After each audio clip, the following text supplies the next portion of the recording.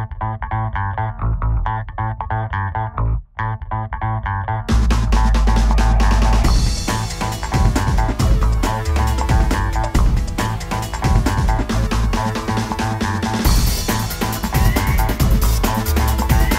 are lots of things it can do for students.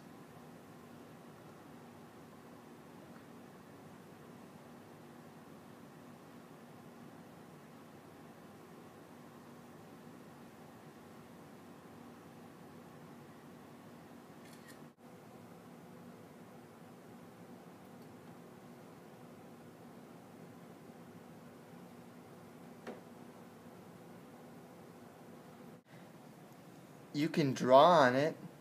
You just go to the highlighted part of the drawing tool and there's all different colors you can do. So I'm going to just pick plain old black.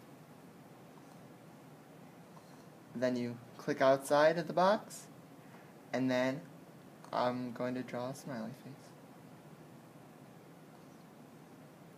And that's how you draw. Highlight information.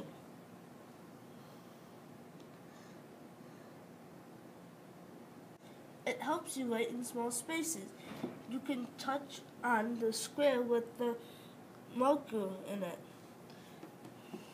You just put a box anywhere you want to write, and you can use your finger to write on it. I'm gonna write hi.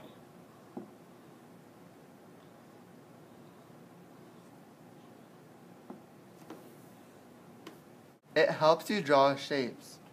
You click on the shape tool up there and I'm going to draw a circle. And another one, a square. And that's how you draw perfect circles and squares. You can add text.